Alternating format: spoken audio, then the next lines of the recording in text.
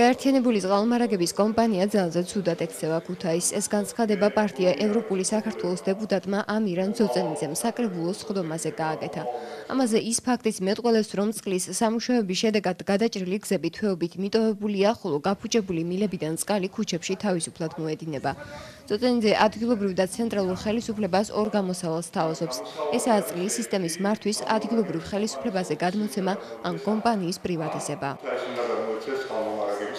მთლიანად, იმიტომ რომ მე აღარ იყოს ხელის გაშვერა რაღაცა სხვაგან, როცა პრობლემებზეა საუბარი. ეს არის პრობლემის სერიოზული გადაჭრა და კიდევ უკეთესი გადაჭრა იქნება თუ საერთოდ პრივატიზება მოხდება ამ სისტემის და მერწმუნდეთ რომ ერთდროულად საკუთრი არ დაუშვებს იმას რომ მაგალითად 65 ნომერთან ოჟაფშაველასი თვეობით იღურებოდეს წყალი. არ დაუშვებს, თვითონვე იზარალებს ამას. ის იქნება მისი პრობლემა. ეხლა რა ენაღია წყალმომარაგების კომპანიას? 3 წლის განმავლობაში 80 მილიონია ზარალზე გავიდა და ამას პარავს გადასახადის გადახდელები. ჩვენ ყველანი ერთად. აი, საითაც არ უნდა გაიხედოთ.